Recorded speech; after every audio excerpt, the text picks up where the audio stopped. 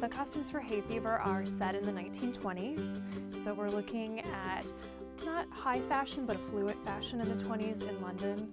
There's a little bit more refinement and sophistication. The challenges were really trying to figure out how to give each character their own individual look and also share a little bit of information about their given circumstances.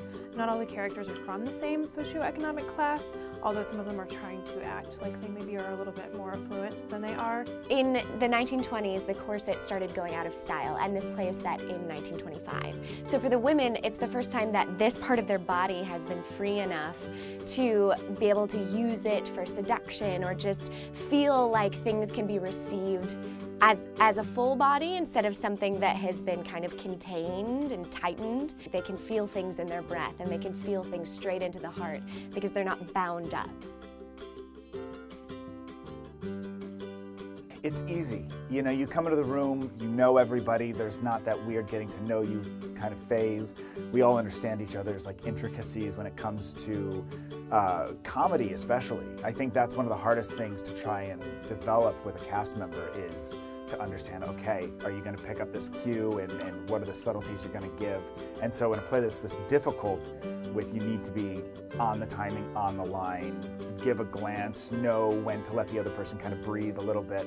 Um, I think we're saving ourselves a lot of uh, time. I think that's probably the best, the best thing about coming back with this ensemble. The things that Gerald um, uses for us um, as a metaphor in rehearsal is music, um, like the idea of a symphony orchestra. And each character is a different instrument in, in the thing. And we decided that Clara is kind of the gong. So things will be going on, you hear trumpets and trombones and percussion and all this stuff, and then Clara comes in with just this one-liners or something that just kind of cuts people off at the knees.